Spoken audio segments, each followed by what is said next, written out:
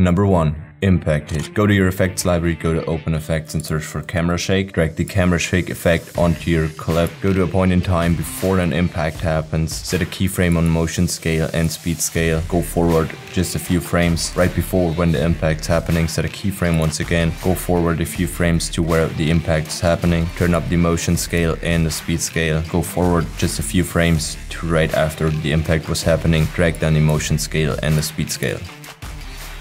Number 2. Strobe Effect.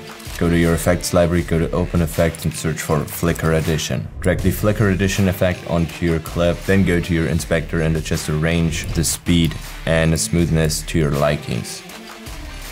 Number 3. Scanlines effect.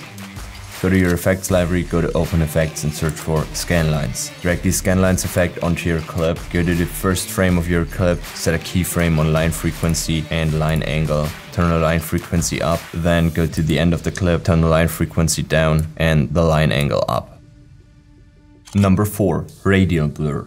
Go to your effects library, go to open effects and search for radial blur. Drag the radial blur effect onto your clip, keyframe the strength and adjust the precision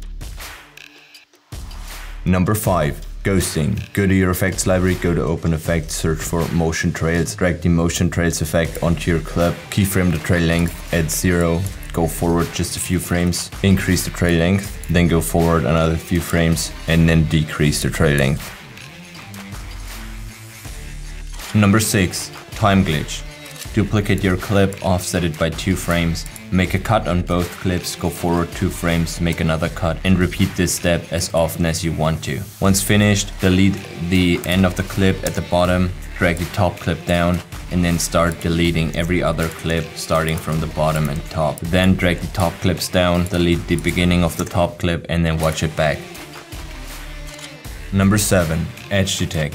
Duplicate your clip, go to your effects library, go to open effects and search for Edge Detect.